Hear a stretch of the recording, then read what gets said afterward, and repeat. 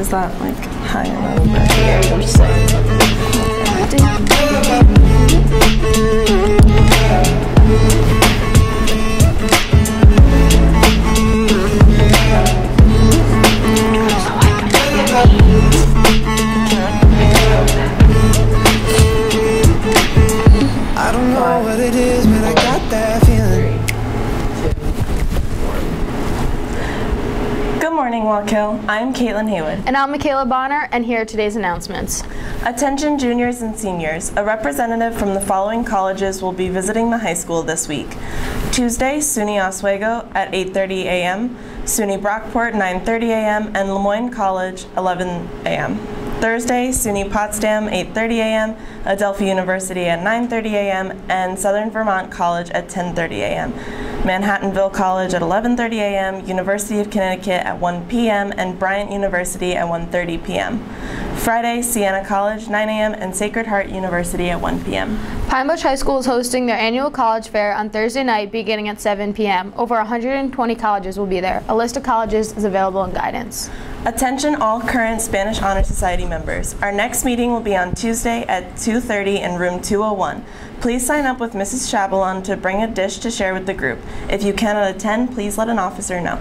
Red Ribbon Week, which is celebrated annually October 23rd through 31st, is the nation's oldest and largest drug prevention awareness program.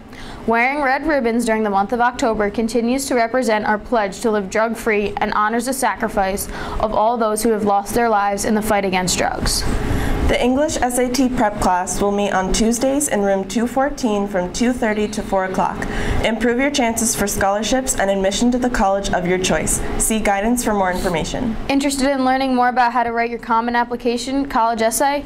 Come to the computer lab immediately after school today for our workshop if you would like tips on how to craft your essay. If you have an existing essay, bring it with you for feedback or assistance.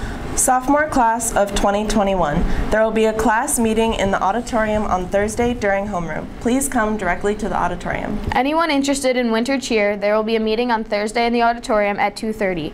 Very important information will be given out. Please come out and join us. Any questions, please see Ms. Robert- Roberta in Student Services. The music department will be hosting their annual variety show on Thursday at 7 p.m.